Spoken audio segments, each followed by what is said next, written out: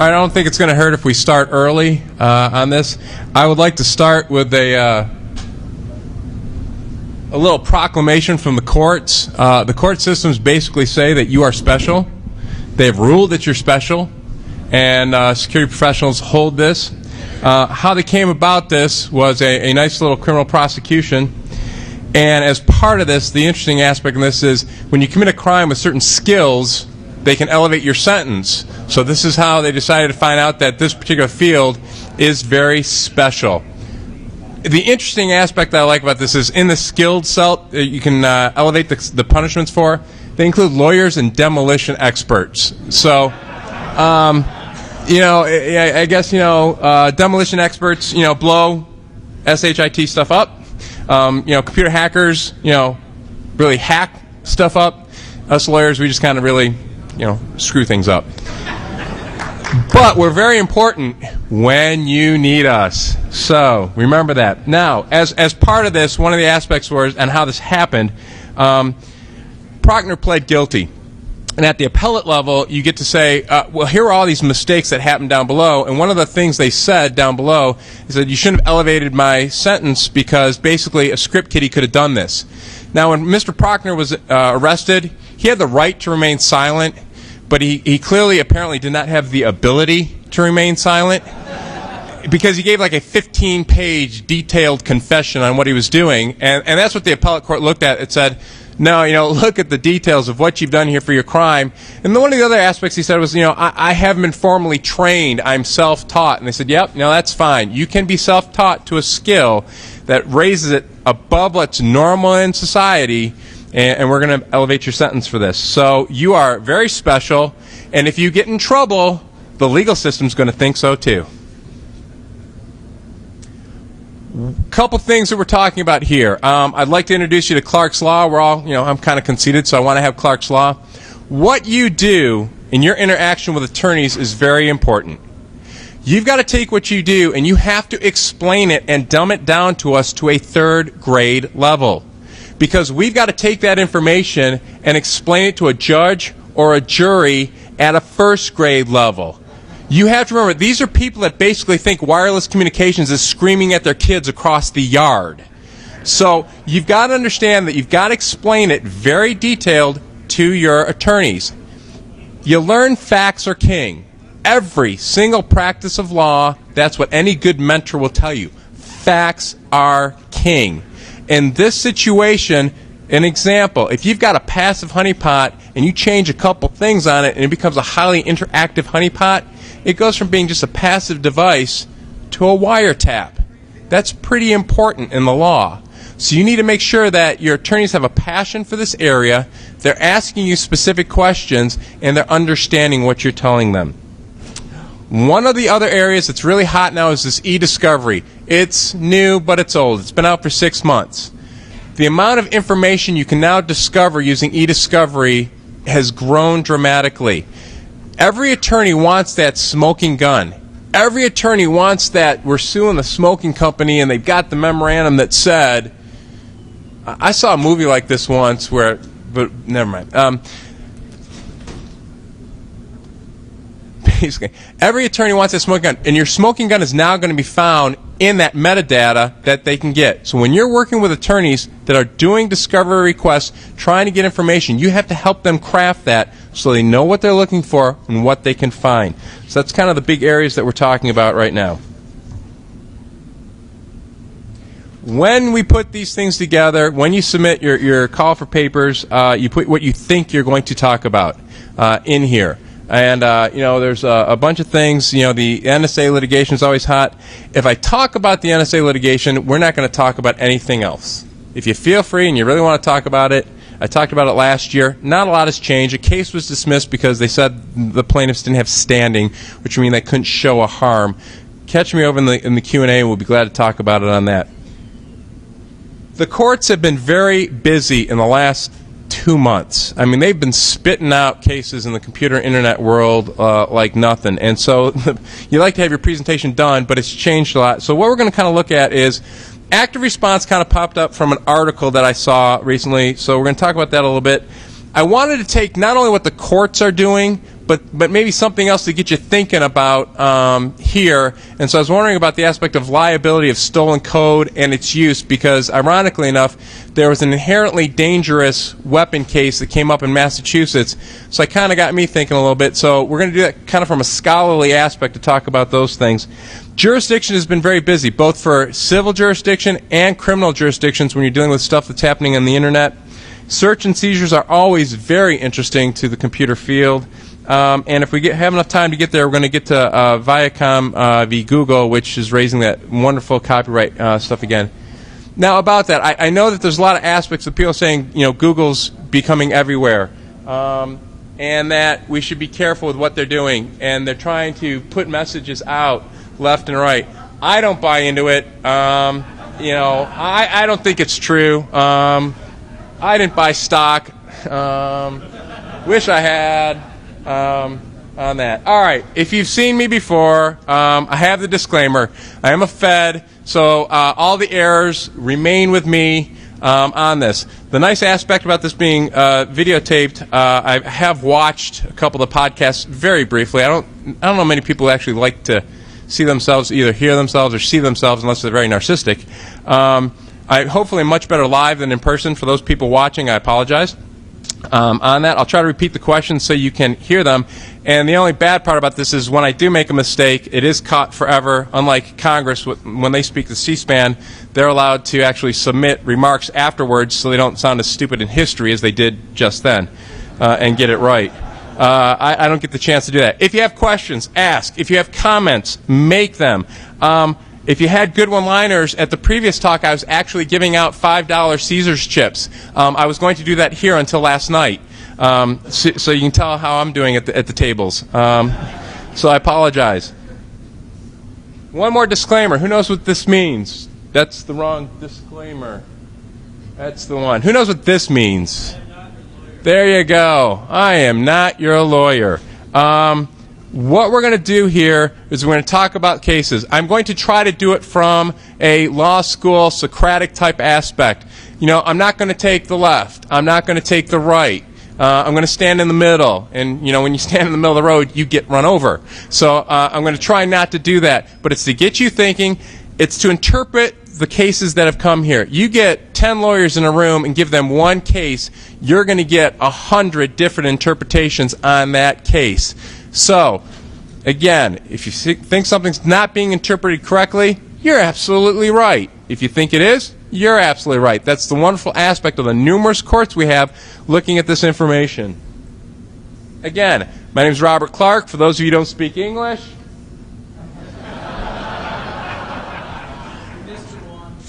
You know, that's the aspect. I'm waiting for somebody to look at and go, that ain't right.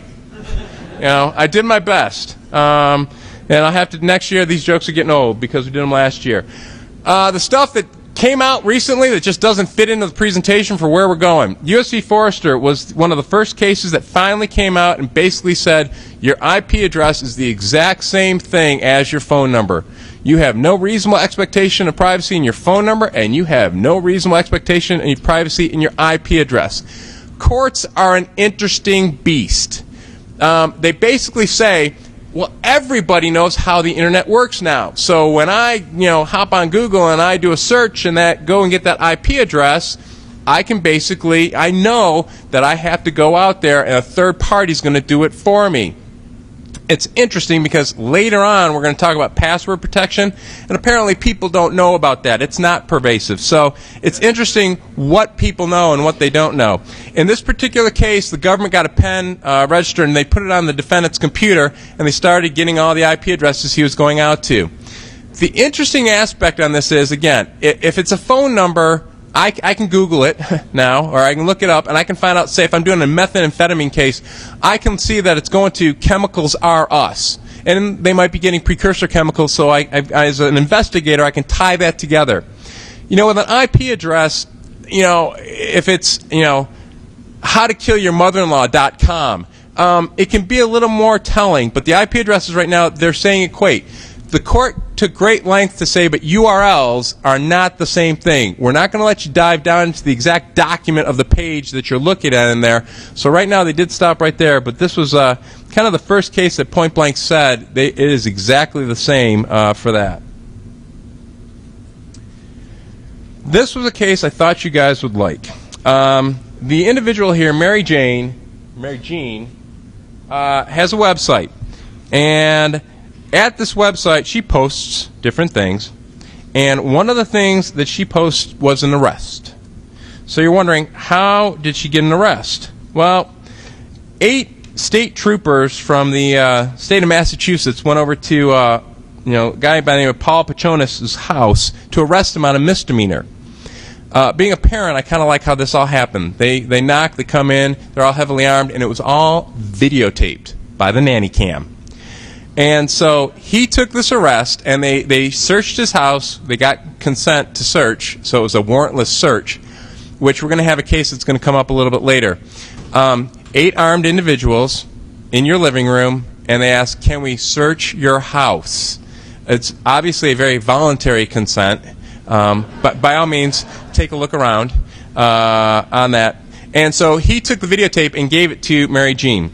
Uh, state law says you can't be. First off, it's an illegal interception because they, they didn't have the right to be videotaping officers without consent and knowledge. So they gave her a cease and desist order to say, hey, you got to take it down. She fought the case. There's, they looked at some precedents about First Amendment. Uh, they looked at some aspects about how you obtain this legally or knowingly that it's illegal, not knowing, anonymous, and they basically said, hey, you know, the public has a huge interest in this type of activity. First Amendment, we're going to let you post this, so they, they let them keep it up there. both they videotaped and audio, so they had both of it. You know, typically with your, you know, you, everyone ever since you know wonderful Monica Lewinsky case came up, everyone's heard about the fact that when you're recording somebody, some states are one-party consent, which means I'm going to record you, and I'm not going to say because I consent to it. Some states are two-party consents, so there's aspect of that one. This one had both the video and the audio on that. And again, the, the statute that they were doing the cease and desist under was your public law enforcement uh, aspects of doing that for it being illegally intercepted. So again, the aspect was state interest or public interest in finding this out, and they kept it up there. Active response wasn't really hot this year until uh, I noticed that this article by Bob Brown, and I noticed a couple of the speakers, you know, Hoglund, Litchfield, and Google. Um, were mentioned in this, so I, it always gets me kind of generating about the active response aspect of life active response, you know, you're talking about self defense, self help. We've talked about this before last year uh, at great length on this as far as the aspect of what you can and can't do. Trespass to chattel is very big with being treated to computers and the internet. The one thing I always point out here is the what that aspect about the law likes. The law likes prevention versus post trespass recovery. That's very simple. Um, you know, it likes the fact that you, if your neighbor keeps borrowing your lawnmower, it likes that you're locking up your lawnmower as opposed to you know going over to his property, grabbing it, and breaking down his gate as you're taking it back to your house. Um, so it likes more of the prevention aspect of it. I screwed this up because I didn't pull the right stuff off of uh, my talk from last year. But when you're talking about using defensive, aggressive, uh, active response defenses, it really kind of comes down to an aspect of uh, degrees. Now, if I'm setting up, if someone's looking at my stuff and, and they're they're on my site and they're doing things and they're, and they're delving down and they're getting more details, there's an aspect of I remember in aggressive network self-defense, what it basically was saying is, I'm going to set this up, and your typical script kiddie's not going to be able to get down. He's not going to be able to delve down and kind of keep looking for this information. But your people with malicious intent are going to be keeping at it. They're going to delve down. They're going to do the research, and they're going to find this. So I'm going to, you know, basically write bad code, malicious code here. So when they take it back, it melts their machine. Now, my point on this is exactly the degree that you're doing this. Again, if it takes just a script kiddie can do it, can you be sued for that? You can be sued for anything these days. So, from that aspect, one of the facts you're going to look at is hey, this was really easy to get to. The other guy who's got to do a lot of work, who's really malicious to get there, you know, you're still on solid ground there because basically you set it up proportionally to the threat that you were faced with. And that's one of the big things we look at when you're talking self help, self defense. Unfortunately, it's, it's amazing. You start talking about this, and the first thing lawyers start talking about is the spring loaded shotgun that we all remember from law school. And that's where the guy's defending his property. It's a farmhouse out somewhere. He you know, sets up the shotgun pointed at the door. You know, so when someone opens the door, kabam! I mean, you know, and it's just a farmhouse out there. Now, the case actually, uh, uh, the wife says, "Why don't you aim it down at the ankle?" And the guy who comes in, you know, when he stands on his left side, he's six four. When he stands on the right, he's five six. Um, but again, the point is, what is that mechanism you're using to defend your property, and is it excessive to what you're doing? That's kind of the point I always focus on when we're talking about uh, self-defense uh, and active self-response. Ironically enough, um, if we get there, we're going to talk about YouTube again. This is a particular case um, that brought up trespass to chattel and a nuisance aspect of it. And there was a, a question about nuisance asked a little earlier. Universal Tube and Rollform Equipment versus U-Tube. As you might imagine by the name, Universal Tube has been in business for two decades, uh, making, uh, supplying used tube and pipe mills. They have a website. Prior to YOU Tube, uh, they basically had a few thousand visits per month. Then YouTube came online. How many think? How many hits do you think they got a day? Seventy thousand. What do you think happened to their site? It crashed. So they sued for uh, trademark dilution, and, and, this motion to dismiss the case, meaning you're coming in and you're saying they haven't got a leg to stand on, dismiss the case, judge, get us out of here. The trademark's going forward, but they did dismiss the trespass to chattel and the nuisance claim. Again, the trespass to chattel is they're harming my property, and the court said no. I'm sorry. YO YouTube is not going to your site. YO YouTube is not clicking on you. You've got a bunch of mistaken visitors that are coming knocking on your door. We're sorry about that but that's not a harm from YouTube. Then they looked at a nuisance aspect of law. And nuisance law is that aspect where your neighbor's tree's growing in your yard in, over the fence, and you keep saying, hey, could you, could you trim it back? You know, and, and the neighbor doesn't. So basically, being the good neighbor you are, you go out at 3 in the morning, fire up that chainsaw, and cut half of it down. Um, basically said that's a real estate, that's a real property theory. And we're sorry that YouTube and YouTube are side by side, but we're not going to apply that here. So the nuisance part of that was actually dismissed also. So fun case for YouTube on that. Uh,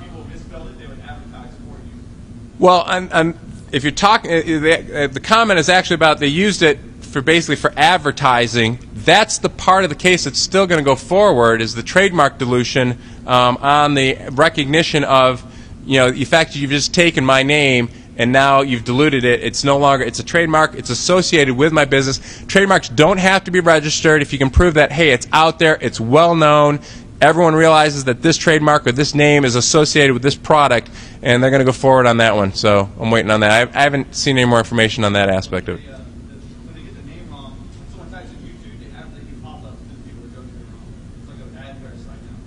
Oh, that. Well, that'll work.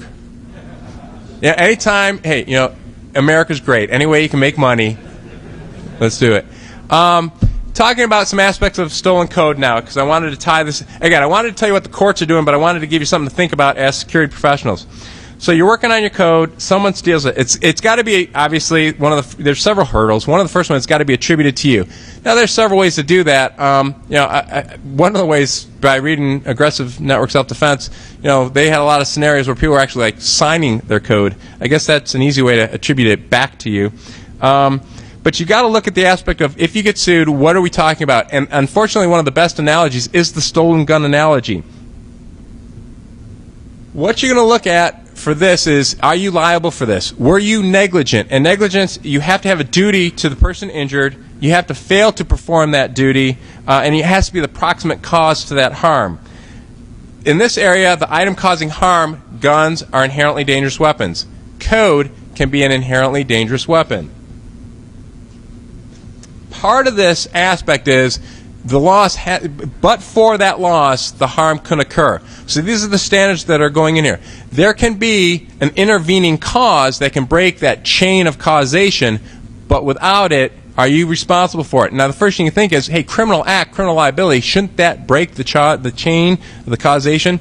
Case just came out of Massachusetts where an officer was shot and killed. And basically, the kid had gone and in a secured homemade gun cabinet, unscrewed the hinges, got the gun, and went out and killed the cop. So the homeowner, which was the girlfriend, is being sued by the estate.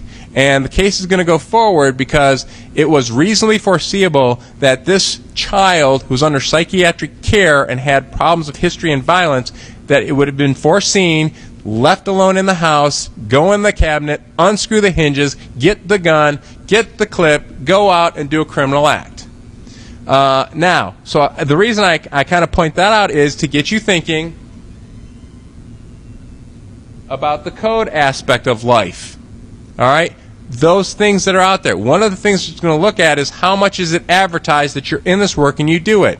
Are you in chat rooms, you know, IRCs? Do you go to conferences like Black Hat or DEF CON and advertise that you're working on this? What security procedures have you put in place on your machines to make sure that you're not going to be compromised? And the inherently dangerous uh, product we're talking about, virus, worm, rootkit, do they have different standards? As our speaker before said, I don't have the answers for this. It depends. But by all means, if you're involved in that case, please let us know because we'd like to get involved too. By the way, if I miss your case or your investigation, uh, I apologize. Again, when you're determining what's kind of been hot for the past year, you're going to get a, a, wide variety of people talking about things. So if you really want to talk about your investigation, please feel free to stand up, and uh, we'll be glad to share it with everyone.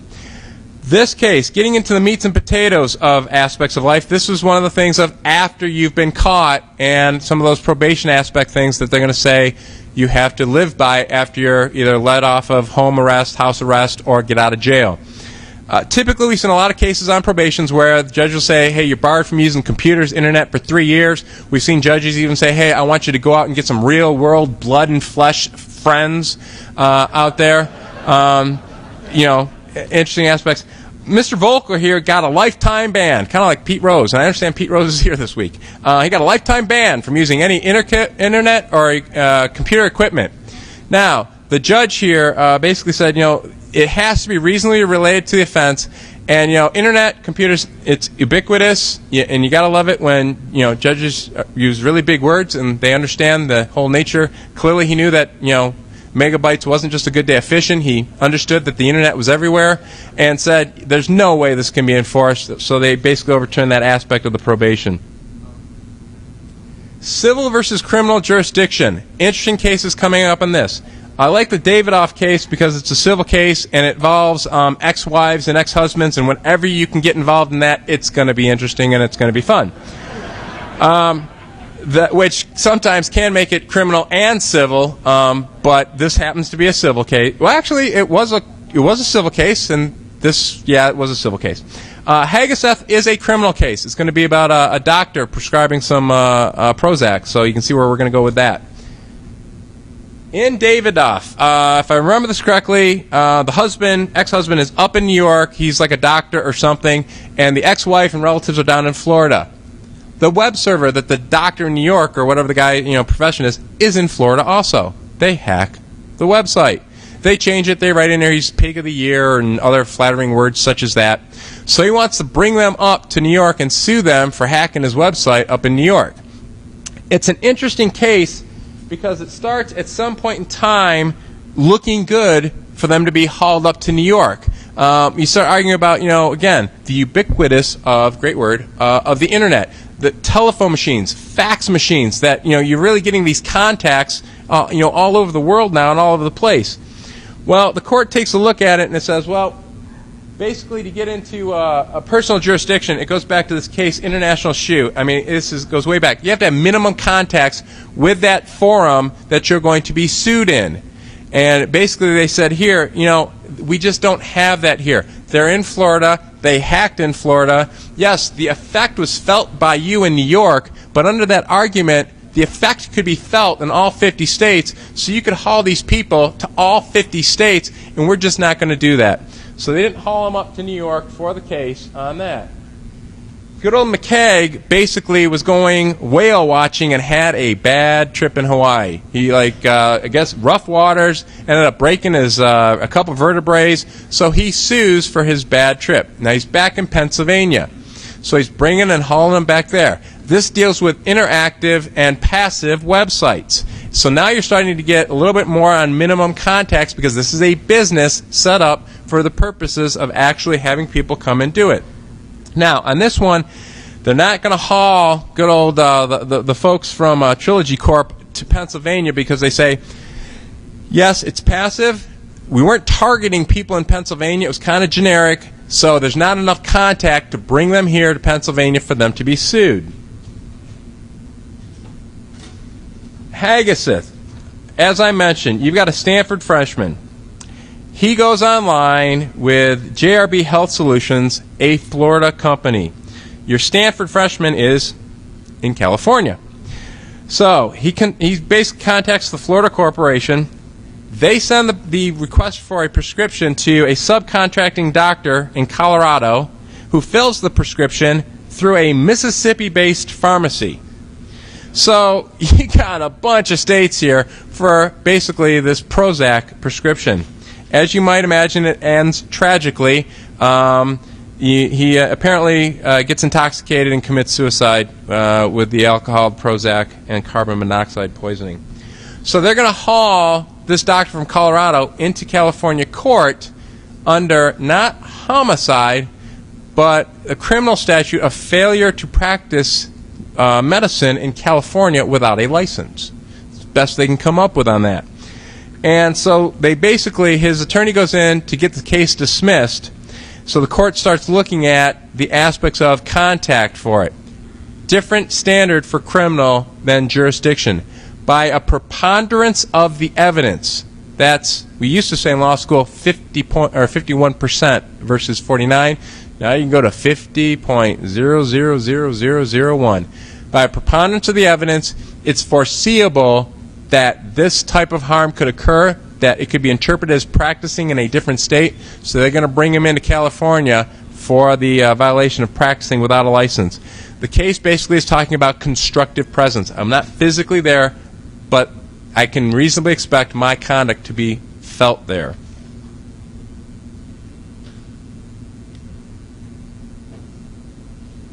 I throw this out as a quick hitter. This was the modification of the Patriot Act, uh, in which in Arizona they went and got uh, an order to get the subscriber information from Yahoo.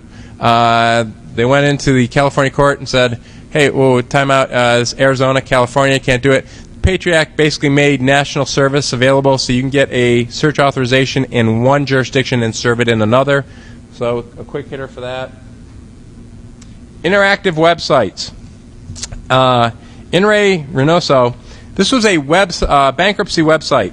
This case really stands for um, complicated expert software with really poor choice of advertising or sales puffery, as we used to call it in our, our contract classes. Basically, you're looking at something kind of like TurboTax. You get it, it tells you what documents to use, you know, where to put it, put the information in. This one, I mean, you put your information in and it chose the documents for where it should go. Plus, but they, they had all these, you know, expert advice, where, you know, expert software, and basically held, hey, this was practicing law without a license, and so the, uh, basically the website got in trouble for practicing law without a license. Again, poorly chose, chosen words for their sales puffery and an expert uh, website to give you help. We're still seeing um, you know, web pages, ISPs not being liable for the postings of other information. Uh, Universal Communications sued Lycos uh, for basically for, for defamatory information that was posted on their financial situation. They sued. Lycos said, "Hey, we didn't write it. We're not responsible for the content." And court, agreed and dismissed the case because you're not liable as a publisher. Again, First Amendment right to do that. Fair Housing Act. The Fair Housing Council versus Roommates.com, same kind of scenario. Uh, it's a website to find roommates for you know coming on in. Um, on this one, a little different. The website started becoming responsible for the content. How? by the questions that they had there. What are you looking for? You know, dog lovers, you know, cat lovers, um, people who only hack between 2 and 3 in the afternoon, um, before 2 and 4 in the morning. Um, and so, you know, they started creating the content that you were looking there. As you might imagine, some of the categories got kind of discriminatory and you're thinking, more discriminatory than dog lover or cat lover? Yes, they, they got more discriminatory. And because that, it violated the Fair Housing Act, and they were responsible for that, and the site got taken down or modified. Seizures. Let's move on to the fun part. You know, the cops have shown up, and they're taking your stuff. Uh, on this one, re Forgione. I like this one because basically this is the one where they show up and they say, We're taking everything. You've got a student he does what most jilted students do. He starts stalking the student who jilted him. And so, being uh, the good stalker that he is, he starts sending harassing emails. She takes the information to the university uh, system administrator. They find out the IP address it's coming from, turn it over to the cops. Cops do what they do, and they show up at the house with a search authorization to seize all the computer equipment. And the family says, whoa, whoa, time out. Grandma's running TurboTax upstairs has nothing to do with what my, my college student's doing. And police do what they do very well. Too bad, so sad, sorry, tell it to the judge, and they grab everything and take it out. And that's basically what the judge said. Judge says, look, I don't know that Junior's just harassing on this particular computer. He could be harassing on Grandma's computer too. So we're taking it all. We're keeping it all. Have a nice day. Don't let the courthouse door hit you in the you know what on the way out. What are, what are some facts that might modify that situation, such as like uh, an attorney with privileged material, uh, corporate trade secrets, or, or journal, or jour- uh, using the computer for purposes of journalism? I'm hoping the question is what are some facts that could change that seizure aspect as far as attorney uh, client privilege information, corporate trademark secrets from that aspect? I'm going to ask you to hold on to that to make sure I come back to it because it's going to come back in, in a couple of the cases we've got coming up because we've got some aspects of corporate seizures in, uh, on that lines and business uh, stuff.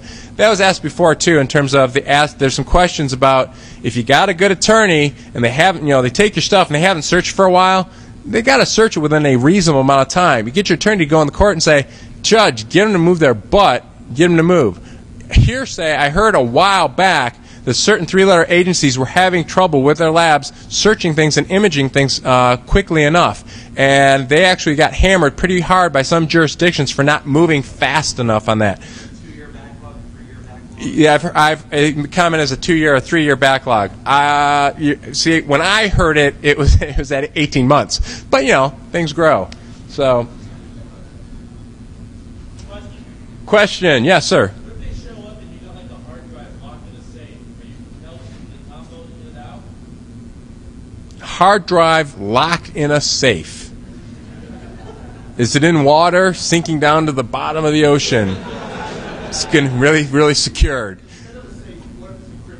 Encrypted is, you know, these are, you know, th- these are the questions that came up again. Um, after uh, speaking before, questions became, uh, all right, the aspect of, you know, passwords, encrypted, biometrics. You know, I seized the computer, and having a teenager, we just looked at some models with the old biometrics on there.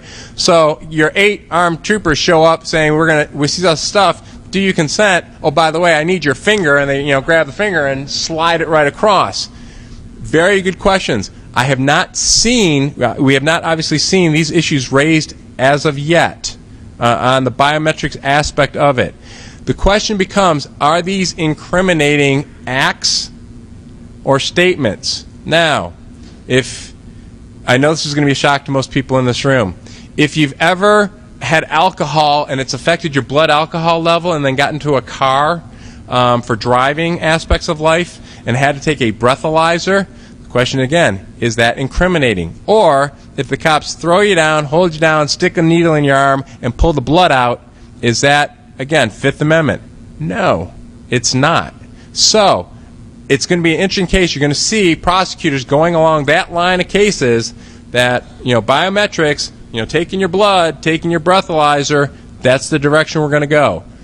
Where the court's going to go with that, it, it's going to be fun to watch. So I, I don't know the answer. So the, uh, the hard drive and the safe, they're coming to seize all the stuff. Here's the fun aspect. Again, search warrants have to be specific enough for that item being searched for. That's the fun aspect of when they're searching for, you know, the, the marijuana and the marijuana cigarettes. Marijuana cigarette, I, I'm told, can be very small. So, uh, basically, I mean, that gives you free reign to open drawers, I mean, search and everything, open containers, and look for everything. So, when I'm searching for, you know, hard drives, again, how articulate was the facts that I'm basing my search warrant on? You know, if I'm looking, you know, I'm going to be hard pressed to say that I'm looking for a specifically named hard drive from that aspect, but you never know. And then you have a safe there, you know, that's the next aspect while you're standing there. Hey, you know, what's in the safe? Uh, I don't know. You know, uh, on that. So, yeah, at that point in time, the question could be I mean, with the aspect of being able to open closed container, and there's a whole line of history, you know, cases on that. If I've got the authorization to do that, then I can arguably get the tools to open up that safe. Yeah. So, on that. But these aspects are the areas that are really going to be being developed by several different cases and circuits from the first to the ninth. There might be some more besides the ninth, but we all like watching the ninth the most out of California, uh, and that's what we're going to be looking at. Was there another question out there? All right. Um,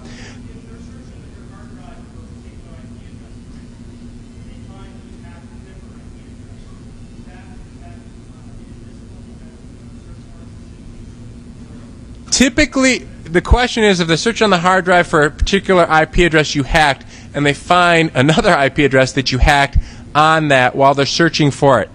I would I don't want to say I'd be surprised. I would be surprised that the search warrant is that specific that they're listing the IP address. I didn't get to this in my other presentation, so I'm going to talk to you about it right now. Search warrants, methods, and uh, on that. There are several cases now that are saying the method that you're going to do the search for computers does not need to be specified in the search warrant. That doesn't have to be specifically articulated in the search warrant. There's one case, in, and it's in my material and it escapes me right now, which really sent shivers through DOJ attorneys that said, no, I want the method specified in there. It was an anomaly uh, on that. So, you know, I'm not going to put a whole lot of weight in that. Typically, you're talking some aspects. The case is basically you're talking plain view. In here, there in my material, there's another one that talks similar to that. They're investigating for stalking, and they go to the guy's house, and he literally has hundreds and thousands of dollars just laying all over the place. And basically, he's got this offshore thing, uh, doing illegal stuff offshore. He even kind of tells them about it. And they're looking on the computer for stalking and the messages and, and a specific drive because he said, "Yeah, I'll give you consent to search. By the way, it's in you know D colon backslash you know right here. Go to it." So they start looking at it, and as they see all the money all over the place, and they bring up the files, they see a, literally a file kind of called offshore accounts. All right. So you know what do they do? Being good cops, they click into it. You know now. Eh, eh, you, you, there's the doctrine of plain view. If I'm looking for things and it comes up and I see it, plain view means I can seize it. I don't have to stop everything I'm doing to go get, you know, I'm, I'm, investigating for child porn. There's magazines and there's a bundle of marijuana here. I don't sit there and say, hey, thank you, got the child porn, have a good day. Boy, that marijuana would really go good with this. Can I take that too? All right. Um, you know, I don't have to do that basically on that. So basically, you know, plain view. Now, in this particular case, because the consent was specific to the D drive, they said even seeing that offshore accounts was beyond the scope of the search and they suppressed it.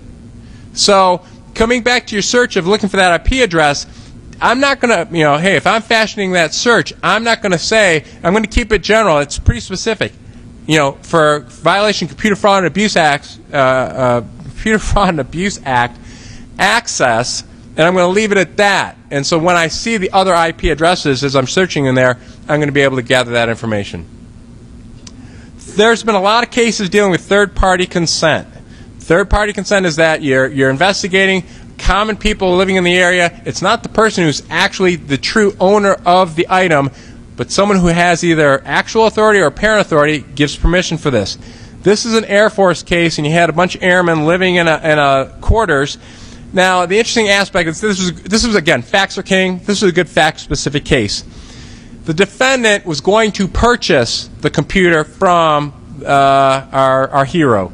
And so basically, he said, "Yeah, I'll buy it from you." So the hero goes, "Here it is, it's yours," and defendant takes it and puts it in his bedroom. Now, you know, kids, they set up a whole LAN in there so they can do gaming and, and file sharing on that.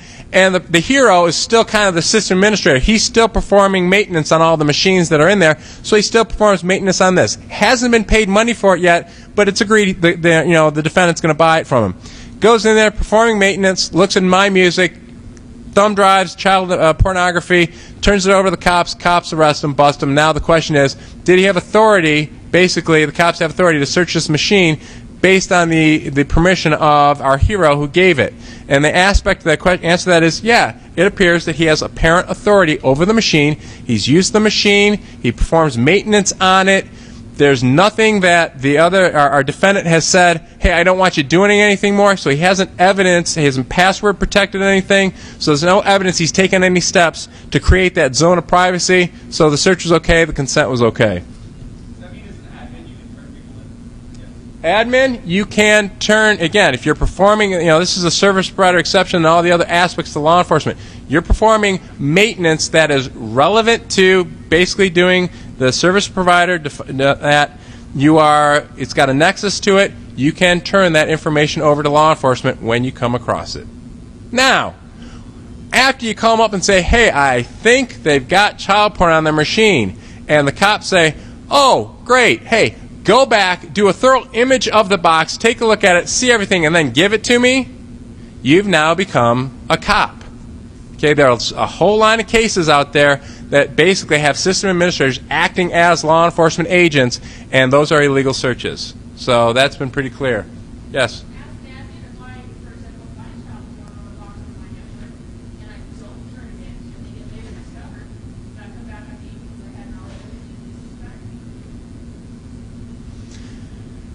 Question is if I'm a sysadmin and I do find child porn on a box and I don't turn it in and it comes back to haunt the company again, uh, what's my you know your liability for that aspect of it? Do you possess it? The question, no. The answer is no.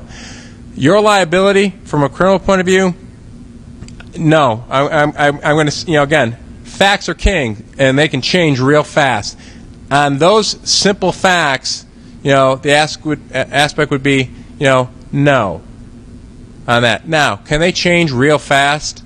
Oh yeah. And and you know this is what we I, I had breakfast with, with Jennifer Granick this morning, and that's the aspect of you know telling war stories about it being a defense attorney, and you know when you're telling your client, here's what you're faced with if you plead, go to trial, that. Oh, by the way, it doesn't mean anything to me because tonight I'm going to go home and have a steak dinner. I'm not going to be watching the bars shut. So again, that risk aspect, those are tough questions to answer.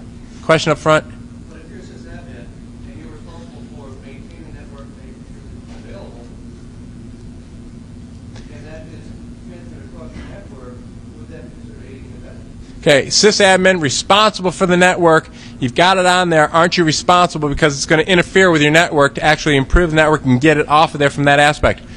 That's a valid ar- argument, absolutely. I mean, because that's what, you know, when we sit here and, and have all these intellectual discussions about reading emails and having people delve into that, again, the aspect is the reason I looked at it was because it was dorking up my system, so I had to go look at it, which typically that's how, like, you know, I 75% of the, the sysadmin cases which turn in child porn are for that reason because the JPEGs are so huge, they're dorking up the system, and they go and they find it that way. It's illegal to possess child pornography. Now, you know, I've heard it even said, I mean, across the board, strict liability. So it's like, okay, so if you're one cop organization and you take it and hand it to another cop organization, haven't you just trafficked in child pornography? I've heard it argued to that stupidity of the degree aspect of it. So again, I'm telling you what the law says. What you do, you know, again, comes back. You know, military. We have regulations that say, you know, which sites you can go to, what you can and can't go to. How many times do you think you know, the, the sysadmins, the ACERT guys come in and say, hey, we, we've got pornography on this machine. Well, Commander, did you call the Criminal Investigation Division? Yeah, I did. What did they say? Is it child porn? I don't know. It just popped up. And then they say, go back. You go back. If it's not, they just delete it. They haven't, they haven't got time to deal with it. Again, so, you know, that's the aspect of that's practicality as opposed to legality. Are there different UCMJ laws? Um, UCMJ, ironically enough, that you know the aspect uh, they have basically a, a simulation statute in, in the UCMJ, which assimilates federal laws and sometimes state laws. Of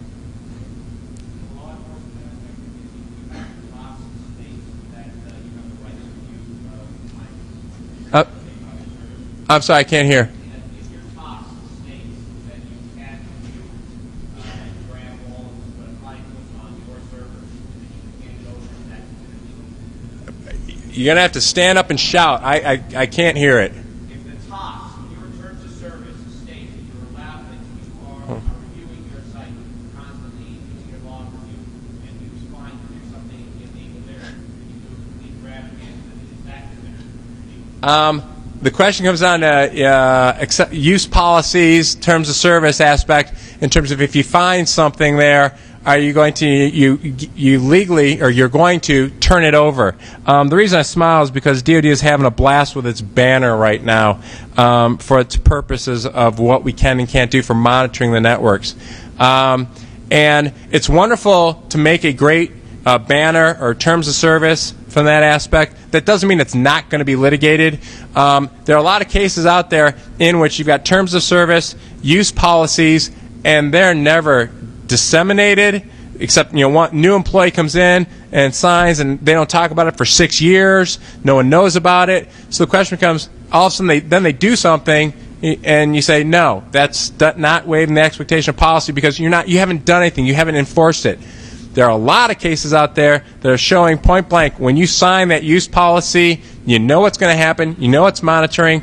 I want to say in here, as a matter of fact, and, buried in the material, is another case exactly like that. That basically it was an aspect where you knew the use policy, you knew it was going to be on, so so yes, you can turn it over, and you knew that was going to happen. Let me go into a couple more to get through here, and we'll go over to the question and answers on this. I'm going to move ahead to um, this case because this is a consent case. This is the uh, basically uh, the 91 year old doctor in his pajamas case. Um, they were focused on his 51 year old son for uh, child pornography. Eight months goes by. They really haven't gotten anywhere with this. So they go and do a, a knock and talk. So they go to the residence, knock on the door, and Dr. Andrus opens the door in his pajamas uh, and starts talking to the cops. And he comes inside. They knew there were several people who lived in this house. They could see the bedroom behind, allegedly, they could see the bedroom behind him and the computer in there. And they asked the doctor, "Can we, you know, take a look at this computer?" And the doctor says, "Yeah, you know, go ahead, come on in and look." Now, in this case, they never, you know, the internet bill was paid for by the doctor. They knew that. The email address they were looking at had the doctor's initials in there, and so it became an apparent authority. Did he have the apparent authority to consent to the search? This goes back to my other aspect: is while they were doing the search, they, they finally the doctor either offered or, or something said, "Hey, I, I really don't use the computer," and they stopped. But his son came home during the search, and again, you've got all the cops standing there, and they say, "Do you mind if we search your machine?" And so the court held that this was. He says, "Yeah, you're already here. Go ahead." Um, and the court held that that was voluntary consent. They really kind of dismissed it as opposed to talking more to it.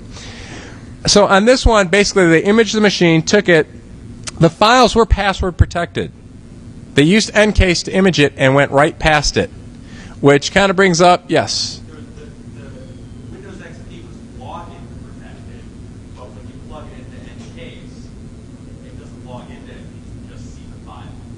And and again, you're talking about this case. This case, This case was Windows XP login protected, login protected, and when you plug it in Encase, you're just looking straight at the hard drive.